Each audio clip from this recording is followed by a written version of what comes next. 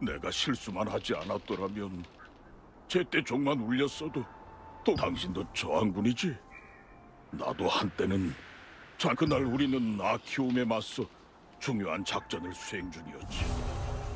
나는 종탑에 종을 걸고 아키움 놈들을 지켜보다가 놈들이 모두 다리 위로 올라오면 조- 그럼 나머지 동료들이 다리를 파괴해. 아 그런데 종탑에 종을 걸고 놈들을 기다리던 중 그만 발을 헛디뎌 아래로 떨어지고 말아 그대로 기절한 나는 종을 울리지 못했고 그다 오늘이 바로 동료들이 희생된 그날이라네.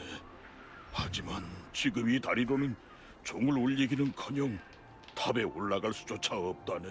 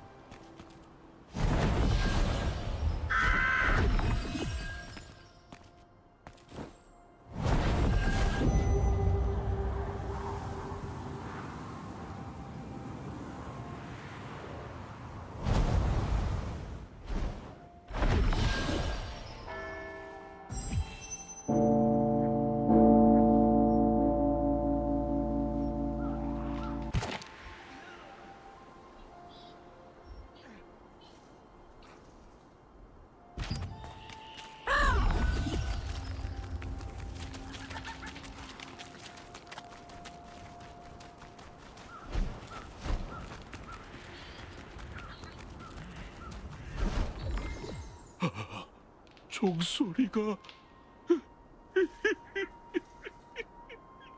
고맙네. 정말 고마워.